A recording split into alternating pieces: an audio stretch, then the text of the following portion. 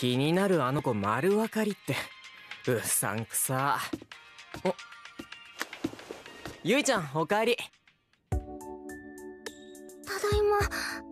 お兄直人さん。緊張しなくてもいいのに。違います。そんなんじゃ。父さんが再婚してゆいちゃんは俺の妹になった一緒に暮らすようになってもう半年になる。ゆいちゃんは物静かでゲームが大好きで。俺とはあまり話をしてくれない。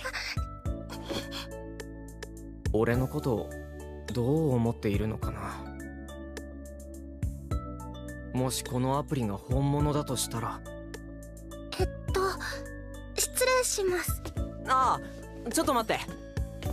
今日お母さん遅くなるって電話あったよさっきメールもらいました。それでは。えっとこうかなと。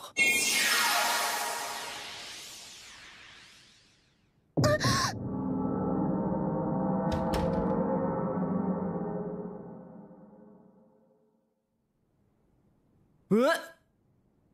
ここって確か。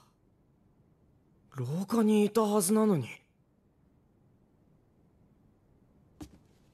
どういうことだ？ん？え？えこれって俺？俺がゆいちゃんになっているのか？唇の感触もある。ってことはここはゆいちゃんの部屋？まさかこんな形で妹の部屋に入るとは。何が起きてるんだ？